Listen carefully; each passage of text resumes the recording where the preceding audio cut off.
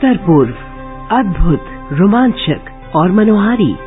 उसकी छटा को समेटती रेडियो डायरी, जिसके पन्ने खुलते हैं हर रविवार शाम साढ़े पाँच बजे, एफएम गोल्ड पर। पूर्वोत्तर डायरी। पूर्वोत्तर डायरी के सभी सुनने वालों को नमस्कार। मैं हूँ चंद्रिका जोशी। रविवार के साथ ही हमेशा की तरह एक बार फिर हम आप पहुँचे हैं आपसे मिलने और अपने साथ आपको भी पूर्वोत्तर की ओर ले जाने के लिए। पूर्वोत्तर डायरी। के संस्करण में हम आपके लिए लेकर आए हैं। इस सप्ताह राष्ट्रपति भवन में 2023 के 106 पद्म पुरस्कारों में से चौवन पुरस्कार प्रदान किए गए। पूर्वोत्तर में किन राज्यों से किसे सम्मानित किया गया, ये हम जानेंगे। मिजोरम में लुंगलेई को मिला स्वच्छ शहर का पुरस्कार। त्रिपुरा में तेरहवीं विधानसभा का पहला सत्र शुक्रवार को अगरतला में शुरू हुआ। असम में जी ट्वेंटी देशों का अनुसंधान और नवाचार योजना सम्मेलन शुक्रवार को असम के डिब्रूगढ़ में सम्पन्न हुआ। साथ ही खुमताई विधायक मृणाल सैकिया के साथ उनके निर्वाचन क्षेत्र में एक अद्वितीय स्वच्छ गाँव और स्वच्छ चाय बागान प्रतियोगिता आयोजित करने पर साक्षात्कार हम सुनेंगे। पूर्वोत्तर की ओर जाने का या घूमने का अगर आप मन बना रहे हैं तो आज ये जानकारी आपके लिए बेहद ज़रूरी है। इस सप्ताह दिल्ली के सफदरजंग रेलवे स्टेशन से भारत गौरव रेलगाड़ी north east discovery beyond Guwahati को रवाना किया गया। ये रेलगाड़ी पंद्रह दिन में असम में गुवाहाटी, शिवसागर, जोरहाट और काजीरंगा, त्रिपुरा में ऊनाकोटी, अगरतला और उदयपुर, नागालैंड में दीमापुर और कोहिमा और मेघालय में शिलंग और चेरापूंजी की आपको यात्रा कराएगी। भारत गौरव पर्यटक रेलगाड़ी का शुभारंभ घरेलू पर्यटन को प्रोत्साहन देने की केंद्र सरकार की पहल एक भारत श्रेष्ठ भारत और देखो अपना देश के अनुरूप है। पूरी तरह वातानुकूलित इस रेलगाड़ी में दो प्रकार की सुविधाएँ एसी वन और एसी टू हैं। इस रेलगाड़ी को चैत्र नवरात्रि और गुड़ी पड़वा की पूर्व संध्या पर शुरू किया गया। संस्कृति राज्य मंत्री मीनाक्षी लेखी ने प्रधानमंत्री मोदी को रेलवे में सुधार के लिए उनकी दूरदर्शिता और पहल के लिए धन्यवाद दिया। तो अब हमारे जो भी श्रोता पूर्वोत्तर जाना चाहें, इस रेलगाड़ी से आराम से जा सकते हैं और वापस आ सकते हैं। आने जाने के इस प्रबंध के बाद अब बात करते हैं इस सप्ताह राष्ट्रपति भवन में 2023 के 106 पद्म पुरस्कारों में से चौवन पुरस्कार प्रदान किए गए। राष्ट्रपति द्रौपदी मुर्मू ने तीन पद्म विभूषण, चार पद्म भूषण और सैंतालीस पद्मश्री पुरस्कार प्रदान किए हैं।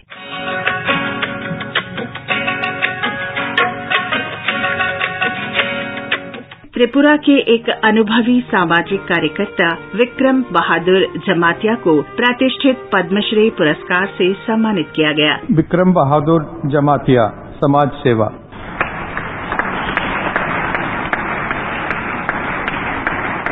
श्री जमातिया ने सामाजिक कार्यों में अपना जीवन समर्पित कर दिया। त्रिपुरा में नब्बे के दशक और 2000 की शुरुआत में विद्रोही गुटों को all Tripura tiger force ATTF और national liberation front of Tripura NLFT के रूप में जाना जाता था। आकाशवाणी के साथ एक बातचीत में श्री जमातिया पुरानी यादों में खो गए और कुछ दिलचस्प बातों को साझा किया। त्रिपुरा में जो पैरालाल गवर्नमेंट चल रहा है उनको रेसिस्ट किया, उनको छुड़ा दिया, वहाँ त्रिपुरा से भागा दिया। ऐसा करके 2002 तक कम्प्लीटली एक्सट्रीमिस्ट एक्टिविटीज़ खत्म किया। वो भी जनजाति समाज का सोशल सर्विस हुआ, बहुत बढ़िया काम हुआ। ऐसा काम देखने के बाद मेरा कम्युनिटी कम्युनिटीशिप का टेनियर भी खत्म हो गया। तो मेरा खत्म होने के बाद मेरा उत्तर पूर्व भारत में जो सेवन सिस्टर स्टेट है मुझे बुलाया, वहाँ पर एक आपका आपका जैसा करके आपको त्रिपुरा में एक्सट्रीमिस्ट को ये किया रेसिस्ट किया, ऐसा करके हमारा राज्यों में भी करना पड़ेगा, ऐसा करके यूनाइटेडली हमारा एक ऑर्गेनाइजेशन बनाया, वो ऑर्गेनाइजेशन है जनजाति faith and culture protection forum इधर इतना यह हुआ, सारा भारतवर्ष में उनका वाणी मैंने प्रचार किया, जागता पूर्वांचल।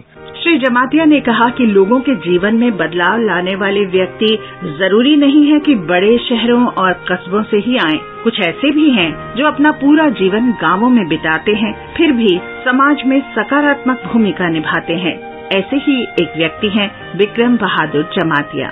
श्री जमातिया त्रिपुरा के 19 आदिवासी समुदायों में से ही आते हैं। त्रिपुरा राज्य सरकार में अनुसूचित जाति और अनुसूचित जनजाति के लोगों के लिए आरक्षण के लाभों को कर्मचारियों तक नहीं पहुँचने देने की समस्या पर ध्यान देते हुए उन्होंने इन समुदाय के व्यक्तियों को एक साथ लिया और तत्कालीन सरकार को उन्नीस सौ नवासी में एक कानून बनाने के लिए दबाव बनाया।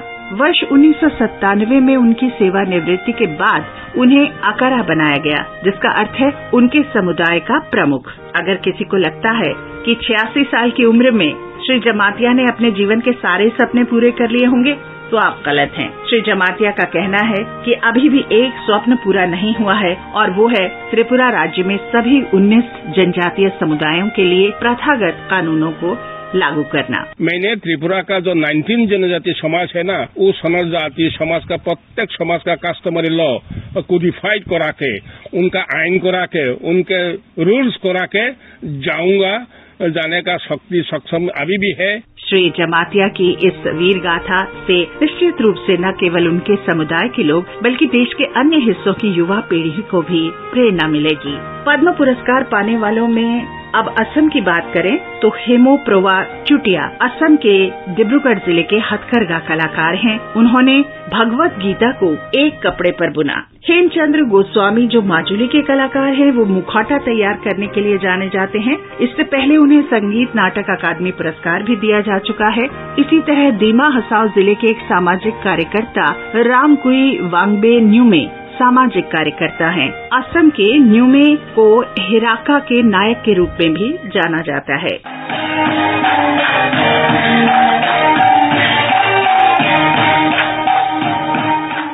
मिजोरम से पद्म पुरस्कार पाने वालों में श्रीमती केसी रणरेम सिंगी कला के क्षेत्र में प्रतिष्ठित व्यक्तित्व हैं। मिजोरम की कला और संस्कृति के लिए वे बहुत लोकप्रिय और प्रसिद्ध हैं। प्रसिद्ध लोक गायिका हैं। इस वर्ष प्रतिष्ठित पद्मश्री पुरस्कार से सम्मानित होने से पहले बहुत ही छोटी उम्र से उन्होंने मिजो लोक गीतों को बढ़ावा देने की दिशा में काम किया है। उनसठ वर्षीय इस गायिका ने गायन और नृत्य को अपने शौक के रूप में लिया, लेकिन धीरे धीरे संगीत में उनकी रुचि बढ़ती गई, क्योंकि लोगों ने उनकी प्रतिभा पर ध्यान देना शुरू किया।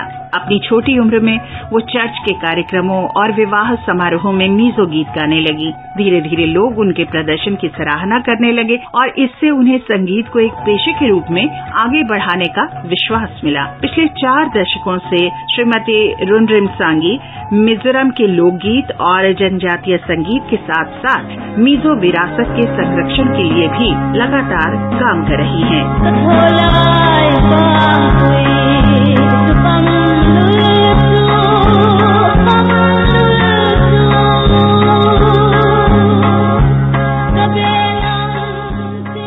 नागालैंड से पद्मश्री पुरस्कार विजेता निहनुओ सोरही को कला के लिए सम्मान मिला है श्रीमती नेहुनुओ सोरही वस्त्र कला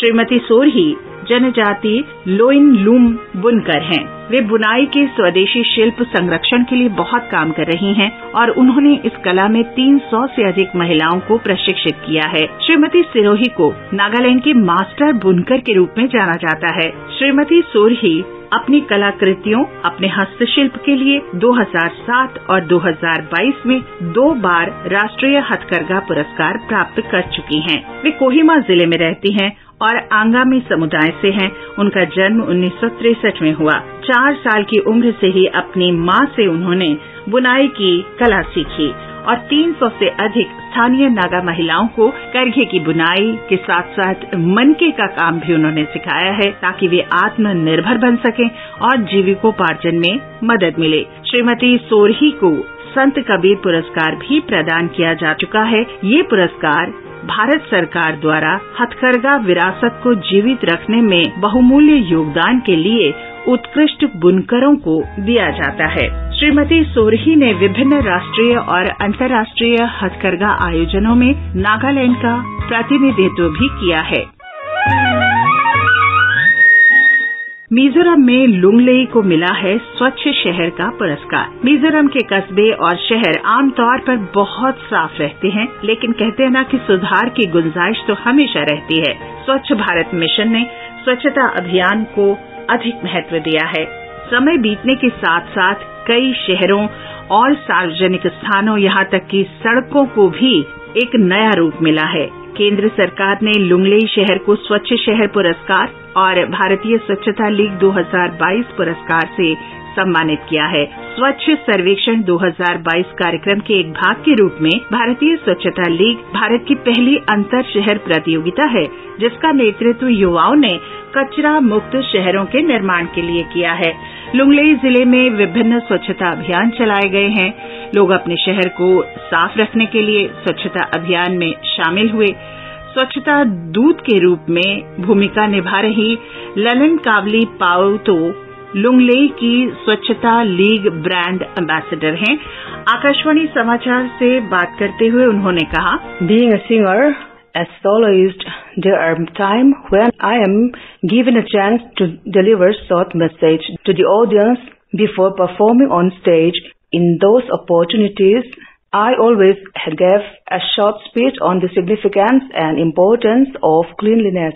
Analyzing from the feedbacks I have received so far, there are numbers of people who have started taking efforts to improve their status regarding the cleanliness of their house and surroundings. There are some who have started to join the League of Swachh Bharat mission in their own pace Shrimati Lankavali ने बताया कि जिन महिलाओं युवाओं और बच्चों की अपनी स्वयं की स्वच्छता इकाई है वे नियमित रूप से स्वच्छता कार्यों में शामिल होते हैं She said the women folk, youth, and children who have their own Swachhata units join the cleanliness work on a regular basis.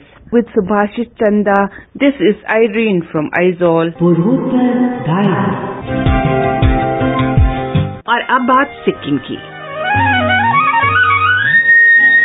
Badminton association of Sikkim के दो अंपायरों को राष्ट्रीय ग्रेड अंपायर के साथ साथ भारत के राष्ट्रीय मैच नियंत्रक के रूप में मान्यता दी गई है। हाल ही में भुवनेश्वर में आयोजित राष्ट्रीय नियंत्रण परीक्षा उत्तीर्ण करने के बाद नवांग लामा और कर्मला शेरपा को राष्ट्रीय अंपायर के रूप में मान्यता मिली।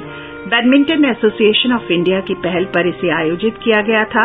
नवांग लामा वर्तमान में सिक्किम विश्वविद्यालय में प्रोफेसर के पद पर कार्यरत हैं। उन्होंने वर्ष 2022 में स्टेट अंपायर की परीक्षा भी पास की थी। इस तरह से वे सिक्किम के पहले राष्ट्रीय मैच नियंत्रक बन गए हैं। करमाला शेरपा अब तक कई राष्ट्रीय और अंतर्राष्ट्रीय मैचों में अंपायर की भूमिका निभा चुकी हैं। बैडमिंटन एसोसिएशन ऑफ़ सिक्किम के दो एम्पायरों को राष्ट्रीय ग्रेड एम्पायर के साथ साथ भारत के राष्ट्रीय मैच नियंत्रक के रूप में मान्यता दी गई है। हाल ही में भुवनेश्वर में आयोजित राष्ट्रीय नियंत्रण परीक्षा उत्तीर्ण करने के बाद नवांग लामा और कर्मला शेर्पा को राष्ट्रीय एम्पायर के रूप में मान्यता मिली है। यह परीक्षा बैडमिंटन एसोसिएशन ऑफ़ इंडिया की पहल पर आयोजित किया गया था। नवांग लामा वर्तमान में एसआरएम सिक्किम विश्वविद्यालय में सहायक प्रोफेसर के पद पर कार्यरत है और उन्होंने वर्ष 2022 में स्टेट एम्पायर की परीक्षा पास की थी। वह सिक्किम के पहले राष्ट्रीय मैच नियंत्रक बन गए हैं। स्मरण हो। कर्मला शेर्पा अब तक कई राष्ट्रीय और अंतर्राष्ट्रीय मैचों में एम्पायर की भूमिका निभा चुकी है। गांतोक से मैं दिलीराम दुलाल।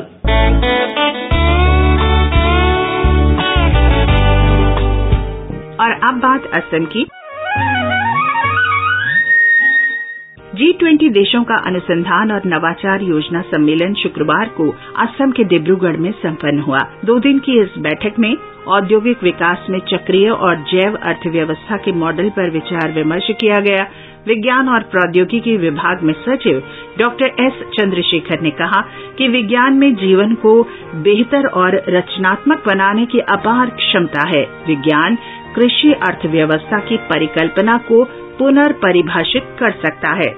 इस बैठक में जी ट्वेंटी और आमंत्रित देशों तथा अंतर्राष्ट्रीय संगठनों के 103 प्रतिनिधियों ने भाग लिया। अब चलें त्रिपुरा की ओर। त्रिपुरा में तेरहवीं विधानसभा का नई सरकार के साथ पहला सत्र शुक्रवार को अगरतला में शुरू हुआ। सत्र की शुरुआत राज्यपाल सत्यदेव नारायण आर्य के अभिभाषण से शुरू हुई। राज्यपाल ने अभिभाषण में राज्य में 16 फरवरी के चुनाव सुचारू और शांतिपूर्ण तरीके से कराने के लिए चुनाव आयोग, राज्य प्रशासन और सभी संबंधित विभागों की सराहना की।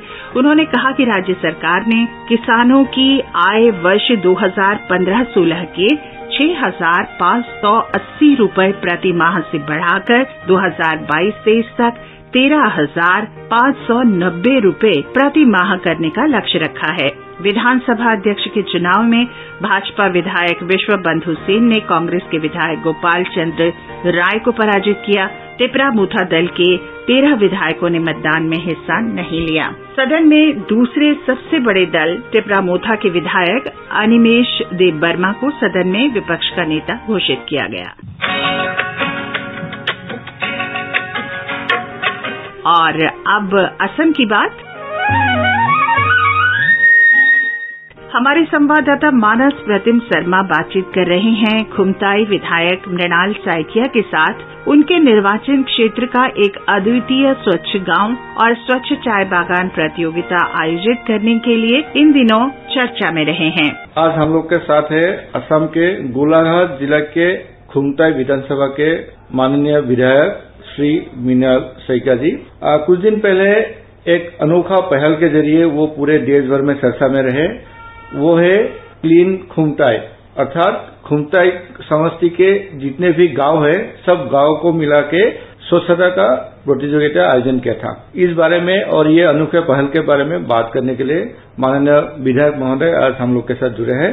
सैका जी, पहले आप बताइए कि ये क्लीन खुमताई जो कंपटीशन थे सब गाँव को मिला के या चाय बागानों को मिला के, वो कंपटीशन क्या था और वो पहल आपने क्यों शुरू किया? हम का असम का स्पेशली जो बोलते हैं belt Assam upper Assam belt वो ब्यूटी नेचुरल ब्यूटी बहुत है, बहुत खूबसूरत है, बहुत सुंदर है। ग्रीन है ग्रीनरी है।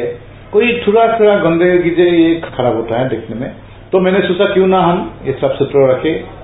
और पहले तो दो तीन गाँव में ऐसे भी ये अभियान चलता रहता था स्वच्छता का स्वच्छता की अभियान। तो मैंने सोचा क्यों ना हमारा जो क्षेत्र है, जो हम लोग का लेजिस्लेटिव असेंबली कॉन्स्टिट्यूंसी है, घूमता है, वो क्षेत्रों की सब गाँव में क्यों ना एक एक कंपटीशन बना के सबको इन्वॉल्व करे और पूरा क्षेत्र हम क्लीन करें। इसलिए मैंने सोचा कि एक कंपटीशन रख दूँ।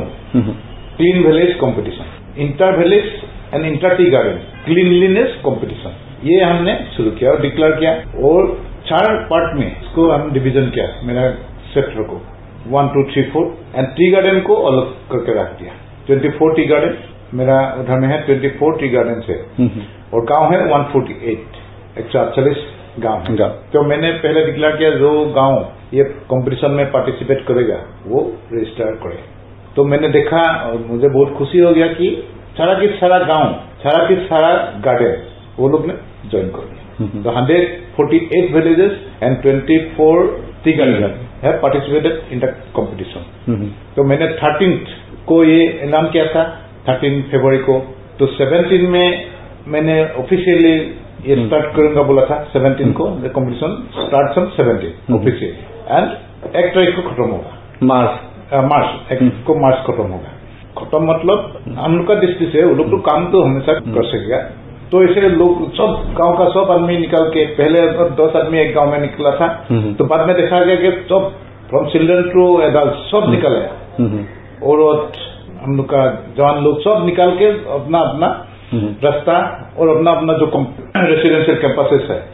ये हम लोग का अपार का जो आदमी लोग है वो लोग का रेसिडेंशियल कैंपसेस बहुत बड़ा है। उधर में खेती के लिए बहुत बड़ा ज़मीन है। वो भी सब करने के लिए मैंने बोला था। अपना घर भी और जो पब्लिक इंस्टीट्यूशन था school colleges hospitals in religious institution namghar मंदिर सब सफ़ा सफ़ा करने के लिए मैं बोला था इस कॉम्पिटिशन में। तो सब आदमी निकल के सब ये काम में लग गया। तो one two three one two three में हम लोग लोकेली कुछ जजमेंट किया। हम लोग चार पाँच आदमी सब गाँव में देखा तो किस किस लोगों को फाइनल कंपटीशन से आउट किया। तो 48 को आउट किया हंड्रेड बैलेंस रह गया। और टी गार्डन भी तीन चार आउट हो गया बीस रह गया। तो हंड्रेड ट्वेंटी फाइनल कंपटीशन के लिए रह गया। उसके लिए हम लोग पाँच टी गार्डन के लिए एक टीम जूरी जूरी टीम और बाकी जो फोर डिवीज़न बनाया था उसके लिए टीम निकला। जिसमें एकेडमिशियन था मीडिया पर्सन था और एडमिनिस्ट्रेशन का लोग था। तो वो लोग फोर एंड फिफ्थ मार्च को तक वो लोग निकल गया गाँव गाँव घूमने के लिए। जब हर एक गाँव में हर एक इंस्टीट्यूशन और दो चार ये अपना इंडिविजुअल रेसिडेंस को देखा देख के मार्किंग किया मार्किंग करके मुझे ये सील एनवलप देखे। हैं तो पहले बात था हम लोग का ऑनरेबल चीफ मिनिस्टर सर मुझे मैं उसको रिक्वेस्ट किया था पहले कॉम्पिटिशन शुरू होने से पहले कि वो रिज़ल्ट इग्नोर करने के लिए आपको जाना होगा। तो उसने भी कंसेंट दिया था। वो मुझे टाइम दिया सेवनटीन को। सेवनटीन एट सेवनटीन को टाइम दिया। वो गया। तो वो रिज़ल्ट अनाउंस कर दिया तो गाँव में इतना अभी भी खुशी है। कंपटीशन टू कंपटीशन सब लोग ऐसे खुशी में है कि कंपटीशन मिले या ना मिले। हम लोग का गाँव क्लीन हो गया। और हम लोग ये क्लीन करके रखूँगा हमेशा। और चीफ मिनिस्टर सर ने सबको बोला कि हर साल ये कॉम्पिटिशन होगा। तो अभी से कंपटीशन फिर दूसरे साल के लिए प्रिपरेशन प्रिपरेशन शुरू हो गया। शुरू हो गया फिर रिज़ल्ट एक साल बाद फिर दूँगा और जो आपने जो प्राइजेस डिक्लेयर किए बहुत ही अनोखा प्राइस था कि जो फ़र्स्ट प्राइज है वो एक किलोमीटर पक्के सड़कें होंगे और इस टाइप का। तो वो आइडिया कैसे आया? मुझे गाँव वाले लोग हमेशा आता है मेरे पास बोलता है गाँव में जो विलेज रूट है डब्ल्यू डी रूट का नहीं उनको पीडब्ल्यू बनाएगा जो विलेज रूट है उन लोग का बहुत प्रॉब्लम है पॉपुलेशन ज़्यादा है लेकिन सड़क अच्छा नहीं है सब। तो मैंने सोचा क्यों मैं काम करूँ उन लोग को भी एक सांस दू मेरा भी काम हो जाएगा सोसाइटी का भी काम हो जाएगा क्लीन हो जाएगा। वो प्राइस रख दू तो इसीलिए मैंने रखा कि one kilometre first price one kilometre concrete route तो पाँच डिवीज़न में पाँच फाइव किलोमीटर रास्ता हो जाएगा अभी।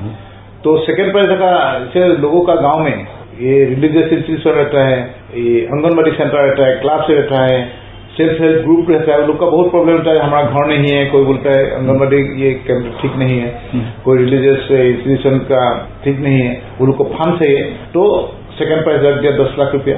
ये सब के लिए। तो एमएलए जो हम लोग का फंड मिलता है अंतरिक फंड मिलता है और राज्यसभा एमपी लोग का फंड मिलता है तो सबसे दे दूँगा बोला था।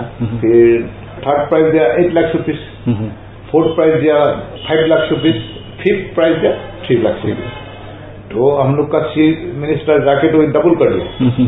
जो मीनाल से क्या इतना दिखला गया था मैंने डबल कर दिया। मीन्स एक वन किलोमीटर रोड मीनाल से क्या ने दिखला गया था मैं और एक वन किलोमीटर रास्ता दे दूँगा आपको। और जो टेन लाख मिला है वो लोग वो टेन लाख मेरी तरफ़ से मैं दे दूँगा। ट्वेंटी लाख। ट्वेंटी लाख हो गया। एक ट्वेंटी लाख में तो गाँव का सब काम हो जाएगा। जो ये सब काम रहता है। तो अच्छा है गाँव वाला भी एक नया गेम में वो लोग शामिल हुआ वो लोग खुश है।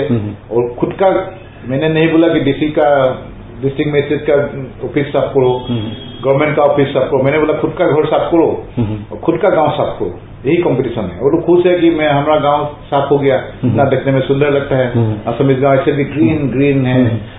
इसलिए बहुत सक्सेसफुल रहा है और जैसे कि हम लोग सब जानते हैं देश के प्रधानमंत्री जो स्वच्छता को लेकर बात करते हैं स्वच्छता मिशन के लिए अगुवाई करते हैं तो आपको क्या लगता है कि जो आपने खुमता में शुरू किया उससे पूरे प्रदेश में कैसा इसका असर होगा और बाकी लोगों को कैसे उत्साह मिलेगा? जब सब लोग जब अभी बात कर रहा है आप रेडियो से आए मेरा इंटरव्यू लेने से पेपर में आया है टीवी से आए हैं तो जब बात चल रहा है तो ज़रूर वो लोग सब में इसका असर पड़ेगा। और सीएम साहब तो बोला है सब में होगा और असम में भी सीएम साहब एक दिन पहले सिक्सटीन को जो असम असेंबली में वो डिक्लेयर किया कि इंटर डिस्ट्रिक्ट कॉम्पिटिशन होगा जो डिस्ट्रिक्ट सबसे साफ़ सुथरा रहेगा वो तो हंड्रेड करोड़ रुपया मिलेगा ऐसा डिक्लेयर के है। तो ये कॉम्पिटिशन शुरू हो गया है स्वच्छता की कॉम्पिटिशन क्लीनलीनेस कॉम्पिटिशन सिर्फ़ अभी खुमता में नहीं रहा सब में चला गया। और जैसे हम लोग जानते हैं सब की खुमताई में जो ग्रामीण पर्यटन क्षेत्र है उसको आपने बढ़ावा देने के लिए बहुत सारा काम किया। लोगों का अभी उसके लिए कैसा इंकरेजमेंट है? लोग कहाँ कहाँ से लोग आते हैं वो खुमताई घूमने के लिए देखने के लिए? और बाहर क्योंकि ये प्रोग्राम जो है पूरे देश भर में चल रहा है। अगर कोई बाहर के लोग घूमते आना चाहे कैसे आएँगे कहाँ रहेंगे आप ये भी बताइए। हाँ ये रूरल टूरिज़्म हम लोग का गाँव देखने का आदमी आजकल बहुत है। फॉरन से भी आता है लोकल टूरिस्ट भी बहुत आता है। ये देखिए गुवाहाटी जो सिटी में रहता है वो लोग गाँव में जाने के लिए वो लोग पसंद करते हैं। क्योंकि क्लीन एयर मिलता है थोड़ा सेंस ऑफ़ लिविंग मिलता है। तो हम लोग का उधर में होम स्टे का ये जो कॉन्सेप्ट है वो डेवलप हो रहा है। आदमी का घर में लोग रह सकता है। ऐसे और क्लीन घूमता देख सकता है। वो जो टूरिस्ट का फ्लो है वो आ रहा है वही तो टूरिस्ट सीज़न चला गया। नेक्स्ट सीज़न से हम लोग का बहुत जरा टूरिस्ट आएगा हम लोग। ये आशा करता है। जैसे आपने अभी बताया वहाँ के क्लीनलीनेस के लिए आपके जितने भी आपके असेंबली में लोग हैं सब लोग उसके लिए कमिटेड है डेडिकेटेड है एक बहुत बड़ा प्रॉब्लम है यूज़ ऑफ़ प्लास्टिक कि प्लास्टिक का हम लोग रोकथाम करें। तो प्लास्टिक के अगेंस्ट में आपने कैसे काम किया? लोगों को कैसे क्या बताया कि प्लास्टिक का यूज़ मत कीजिए? तो हम ये क्या है कि प्लास्टिक को जितना हो सकता है आप लोग ये इसको बकट करिए एक बैग जब घर से निकलते हैं तो एक बैग लेके जाइए। प्लास्टिक कैसे आता है? हम लोग बाज़ार करते हैं प्लास्टिक बैग से घर से बैग लेके नहीं जाता है। और बाकी दूसरा जो आता है एक जगह में स्टॉक कीजिए इधर डन मत फेंकिए लिटरिंग मत कीजिए। और वो जो भी गवर्नमेंट ने सेंट्रल गवर्नमेंट का स्कीम है रिसाइकल एवरी ब्लॉक में एक रिसाइकल यूनिट बढ़ेगा तो उधर में अभी डिपोजिट करने से हो जाएगा। और ये सेल भी होता है। आदमी लोग पैसा कम मिलता है और उसको जुटाना पड़ता है इसलिए वो नहीं रखते हैं। सेल भी होता है प्लास्टिक बोतल वगैरह सब सेल होता है। तो गंदगी मत फैलाइए सब क्लीन रहिए। और क्लीनलीनेस मतलब हेल्दी जितना साफ़ सुथरे रहेंगे उतना बीमार कम आएँगे। लाइफ अपना बढ़ेगा। और जैसे ये अपने अनोखा पहल इस बार शुरू किया खुमटा में, और आपसे एनकरेज होकर बहुत सारे माननीय विधायक और मंत्री जी ने भी यहाँ पे डिक्लेयर कर दिया। तो आने वाले दिनों में आप और इसमें क्या जोड़ना चाहेंगे? और इस जो आपने जो इनिशिएटिव लिया, ये पहल लिया, आप इसको कैसे आगे बढ़ाना चाहेंगे? ये तो आगे बढ़ते रहेगा आदमी का दिल में जब घुस गया बच्चे बच्चे का दिल में क्लीन रहना चाहिए घुस गया। बाकी हम कोशिश करेंगे कि सब सेल्फ रिलायंस बने। सिर्फ़ सरकार नौकरी देगा हम नौकरी करेगा फिर हम शादी करेगा फिर खाएगा ऐसा नहीं सेल्फ रिलायंस खुद करेगा खुद खाएगा ऐसा एक मैं सोच रहा हूँ वो लोग सबको इंस्पायर करने के लिए। जी माननीय विधायक जी आपने हमें समय दिया फिर इसके लिए आपका धन्यवाद। अभी आप सुन रहे थे मृणाल साइकिया के साथ हमारे संवाददाता मानस प्रतिम शर्मा की बातचीत। और चलने से पहले एक रोचक जानकारी आपके लिए।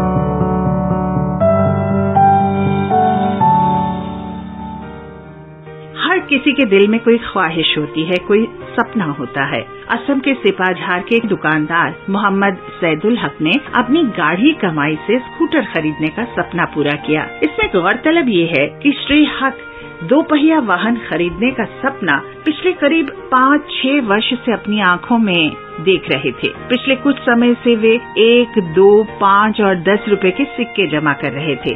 जब स्कूटर खरीदने के लायक पैसा उन्होंने जमा कर लिया तो वो सारे सिक्के एक थैले में भर कर जा पहुँचे दोपहिया स्कूटर के शोरूम में। उन्होंने रुपए से भरा थैला सौंपा और अपना मनचाहा स्कूटर ले लिया और साथ ही पूरा किया अपना सपना जो वो बहुत अरसे से देख रहे थे। दोपहिया शोरूम के मालिक श्री हक के दृढ़ संकल्प की प्रशंसा की और भविष्य के प्रयासों के लिए श्री हक की सफलता की भी कामना की। पूर्वोत्तर डायरी के लिए नियत समय अब समाप्ति की ओर है। अगले सप्ताह आपसे फिर मुलाकात होगी। रविवार का रहेगा इंतज़ार।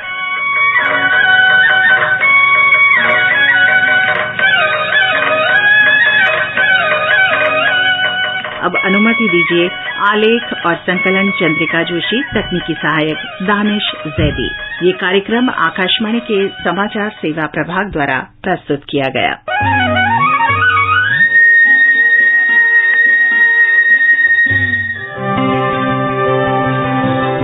उत्तर पूर्व, अद्भुत, रोमांचक और मनोहारी। उसकी छटा को समेटती रेडियो डायरी, जिसके पन्ने खुलते हैं हर रविवार शाम साढ़े पाँच बजे एफ़ एम गोल्ड पर। पूर्वोत्तर डायरी